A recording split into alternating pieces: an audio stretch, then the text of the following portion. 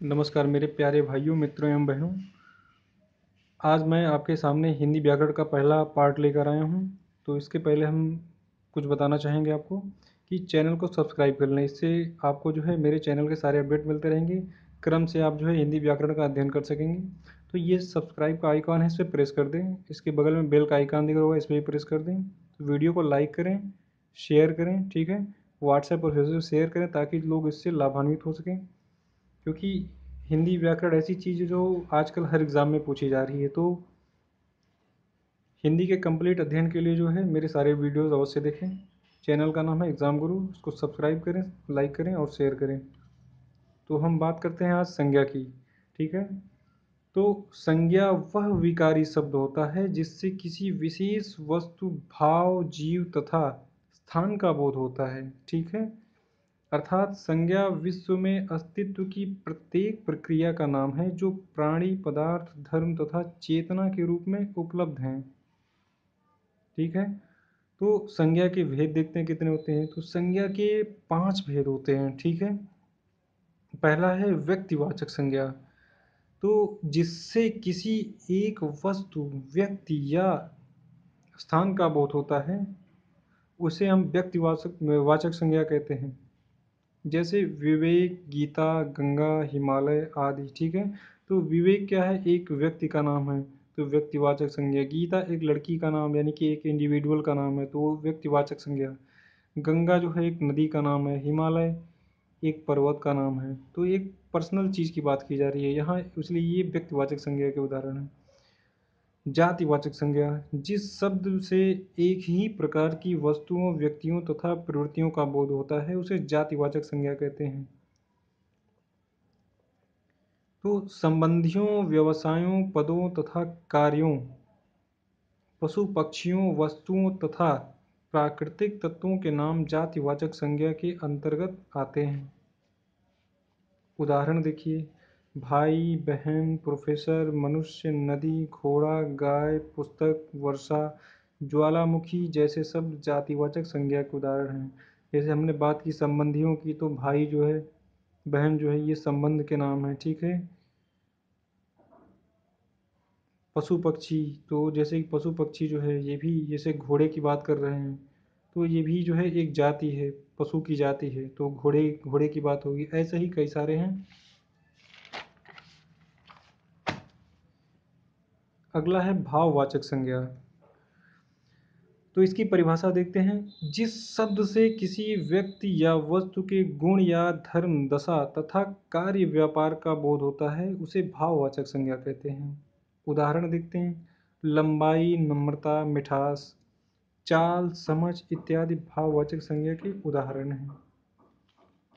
तो प्रत्येक पदार्थ का अपना एक ही भाव होता है।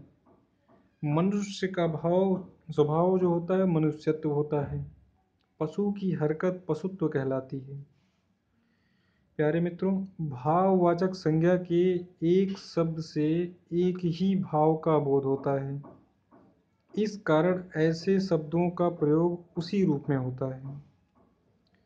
भाववाचक संज्ञाओं का निर्माण, जातिवाचक संज्ञा विशेषण, क्रिया, सर्वनाम तथा अवयव, अव्यय में प्रत्यय लगाकर होता है। तो एग्ज़ाम में ये पूछ सकता है कि भाववाचक संज्ञा जो होती है, उसका निर्माण कैसे होता है, ठीक है? तो जातिवाचक संज्ञा, विशेषण, क्रिया, सर्वनाम तथा अव्यय जो होते हैं, उनमें प्रत्यय लगाकर जो होता है, भाववाचक संज्ञा का निर्माण। तो इसके हम उदाहरण देखते हैं, कैसे हम निर्माण करते हैं। तो कुछ जातिवाचक संज्ञा के उदाहरण हैं, जैसे बूढ़ा है। तो बूढ़ा जो है इससे बना है बुढ़ापा ठीक है? तो बुढ़ापा क्या है? भाव एक है। बुढ़ापा जो है भाववाचक संज्ञा हो गई। तो लड़का से लड़कपन बना इसी प्रकार मित्रता से मित, मित्र से मित्रता बना है मनुष्य से मनुष्यत्व तो बना है। प्यारे मित्रों अब हम देखते हैं विशेषण से भाववाचक संज्ञा का निर्माण। तो गर्म जो है वो विशेषण होती है। और इससे बना है गर्मी, यानी कि जो है ये भाववाचक संज्ञा में कन्वर्ट हो गया। तो ऐसे ही ये सारे उदाहरण हैं, ठीक है? तो अगला है क्रिया से भाववाचक संज्ञा का निर्माण। जैसे कि चढ़ना जो है क्रिया है जिससे चढ़ाई का निर्माण हुआ है, ठीक है? रोना है, रोना क्रिया है जिससे रुलाई, यानी कि ये भाववाचक संज्ञा में कन्वर्ट हो गया। दौड़ना है, दौड़ना से दौड़ का निर्माण हुआ है, ठीक है? अब सर्वनाम से भाववाचक संज्ञा का निर्माण देखते हैं। तो प्यारे मित्रों, अपना जो है वो सर्वनाम है, ठीक है? जिससे अपनापन बना है। निज जो है, एक सर्वनाम है, जिससे निजत्व बना है, ठीक है? निजत्व क्या है? भाववाचक संज्ञा है। तो ऐसे ही प्यारे मित्रों, अव्यय से भाववाचक संज्ञा का निर्माण देखते हैं। तो दूर जो है वो अव्यय होता है, ठीक है? इससे बना है दूरी। दूरी जो है एक भाववाचक संज्ञा है। अगला है समीप। समीप जो है एक अव्यय है। और समीप से बना है समीपत्व, जो कि एक भाववाचक संज्ञा है। तो प्यारे मित्रों, अब हम देखते हैं समूहवाचक संज्ञा। तो इसकी परिभाषा क्या होती है? जिस शब्द से वस्तु अथवा व्यक्ति के समूह अथवा बहुलता का बोध हो, उसे समूहवाचक संज्ञा कहते हैं।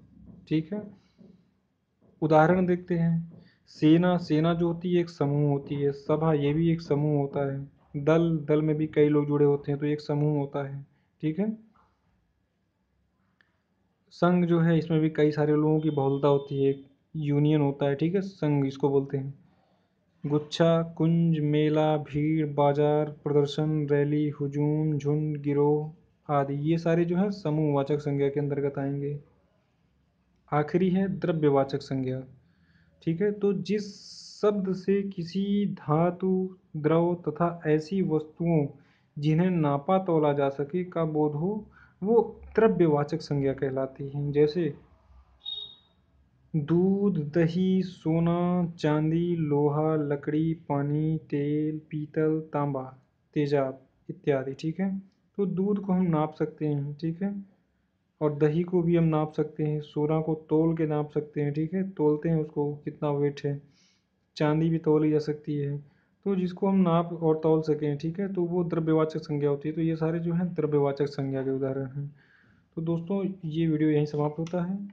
तो एक बार फिर से बताना चाहूँगा, चैनल को सब्सक्राइब कर लें ताकि आप ये भी वीडियो मिस ना कर पाएँ। लाइक करें वीडियो को, इसको व्हाट्सएप और फेसबुक पर शेयर करें ताकि जो है U P TET C TET U P S I U P P S exam में बैठने जा रहे हैं। उनको इस वीडियो का लाभ मिल सके। ओके धन्यवाद दोस्तों।